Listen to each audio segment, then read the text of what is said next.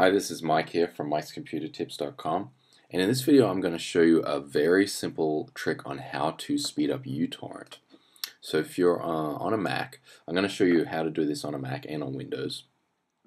So if you're on a Mac, go to the uTorrent uh, bar up the top of the screen and then uh, go to Preferences. Now what you want to do here, by default uh, these options probably won't be turned on. So what I'm uh, going to get you to do is basically turn these uh, limit upload rate uh, options on and you want to set these to a low value, something like 2. So what this will effectively do is make sure that when you're actually downloading uh, your torrents that you're not um, spending all your bandwidth on uploading as well. So you still want to have some upload rate because uh, uTorrent does require you to actually share files when you're downloading, but you don't want to have it set too high so that basically you're uh, sharing more of this file than what you're actually downloading, or you're sharing more of your uh, bandwidth uh, allocated to uploading rather than downloading. So uh, on a Mac, just click uh, limit upload rate manually to 2 and limit seeding rate to 2 kilobytes as well.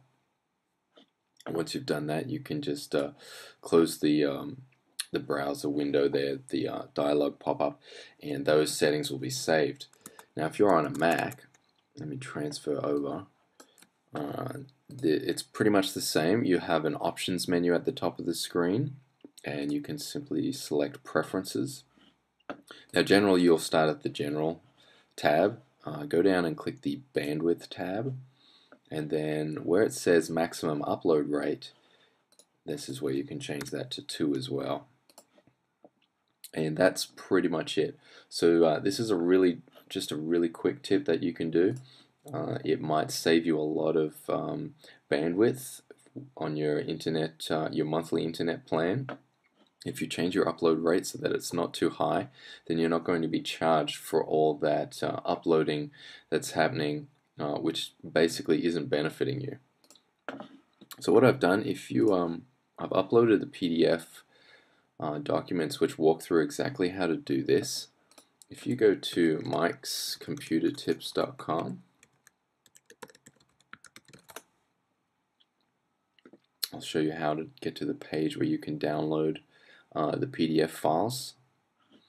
So the first link here is Speed Up uTorrent.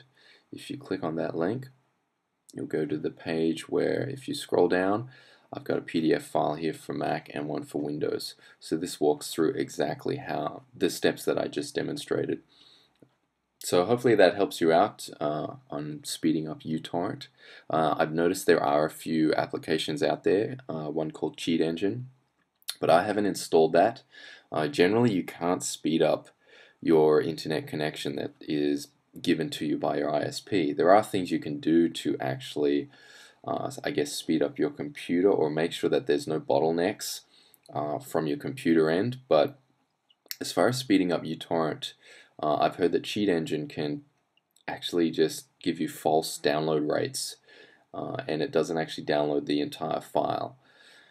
So this method is, it's just a really quick tip and if you don't have that set then that may be something to look at. So hopefully that's helped you out.